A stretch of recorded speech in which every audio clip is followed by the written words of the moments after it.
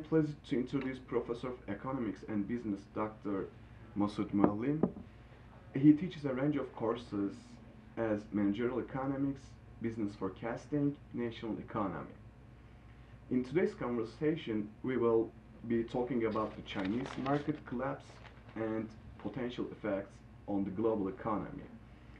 Uh, welcome, Professor. First of all, let me you uh, let me ask you: Should the average citizen in the U.S. concerned about what's happening with regards to Chinese economy nowadays, and why? Uh, hello, and thank you, Bahar, for arranging this. Uh, first of all, uh, basically, if you look at the facts, uh, uh, we see the U.S. exports is a small portion of the U.S. total GDP, and uh, 10 to 13 percent, and a small fraction of that is exports to China. Mm-hmm. And therefore, as far as our manufacturing and exports and the impact is going to have on the exports compared to our total economy is concerned, the average citizen should not be concerned mm-hmm. about the uh, China's issues. However, the contagion goes in the direction of basically the psyche of the markets and it will that psyche that is going on in the stock markets like in china's stock market and that the collapse in that stock market causing turbulences in us stock market that spreads to population also and it will change the consumer sentiments and the confidence for the future and that could affect the economy now, of course, there are long-term effects, and the long-term effects would be because China's exports are decreasing drastically. As a result, China's imports from our trading partners will decrease drastically, mm-hmm. and that will affect the, our trading partners' incomes in turn, which in turn it would affect their imports from our economy. And the longer term effects are they're going to have more economic impact actually than short term. Thank you. And my second question is that professor what issues in china impact the global economy and global marketplace? Do you uh, do you think that china will continue to have a significant impact on the world economy or not uh, there is a saying going for U.S. economy that it was if U.S. economy sneezes, the world economy takes a chill. Mm-hmm. Okay, and pretty much that is true nowadays for China's economy because the size of Chinese economy being uh, over 13 trillion dollars, and basically uh, the the growth in that economy is decreasing. The growth in the imports has uh, has basically uh, there has been decline in the imports by close to 14 15 percent there has been 6 7 percent decline in the exports and definitely these changes especially the decline in the amount they import from the rest of the world it is going to have effects on the economy of the countries that are major trading partners mm-hmm. with China. And some of those economies in turn are trading partners with us and it will affect our economy in turn as well.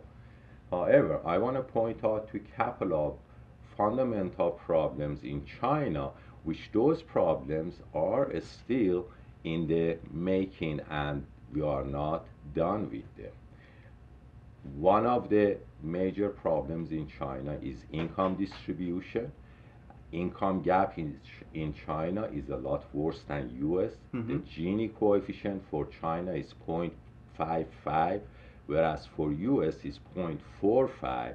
The closer you to one you get, the more wealth concentration there is. The closer to zero you get, the more equal distribution of mm-hmm. wealth there is. And you can imagine in a country like China, 39% of the population is uh, doing farming, they are poor. So basically, what has happened is even though China has got rich in the last 20, 30 years and has risen in the economic status to the second biggest economy in the world. But the, or, the ordinary Chinese person, the majority of the people, close to half, half a population, which is 700 million people, you know, they don't have the means to buy consumer goods. And as long and now China cannot rely on exports to the other countries for growth anymore. It has to rely on domestic consumption. And if the income is not distributed uh, in, a, in a shape and form that the consumers have the ability to buy the products, mm-hmm. the growth is going to even uh, slow down further. And the, the predictions are the growth of China is going to drop to even 4%, 3%, and that's going to be disastrous. Another major problem with China is the amount of the private sector debt, which is actually as a percentage of their GDP greater than US right now. Right. And a lot of that money which is borrowed has been used for speculation in stocks, and now the stocks the stock market is going down, that means it's going to make a lot of these people basically unable to be to make yeah. payments on their debt and the other part of the money close to 30 40 percent of the money borrowed is invested in land and properties and it has created a real estate bubble in china and if that bubble ever bursts which every bubble is going to burst. If that bubble ever bursts, and the government, if the, if the government does not come up with uh, really proper measures to uh, to prevent the major deterioration in the economy, that burst of the bubble in real estate could cause the major problems, basically financial problems in China. And that's going to make the economy a lot worse than what it is today. And if the economy of China goes down of course the economy of the day trading partners is going to go down and that's going to spread to all the countries in the world basically because nowadays we're talking about a global economy mm-hmm. thank you so much professor Masoud for accepting my request to interview you i know you are in an expert in this issue. I appreciate your willingness to share your uh, extensive knowledge with us. And coming up next, uh, an interview with the head of um, MBA department, Jeff Fahrenwald.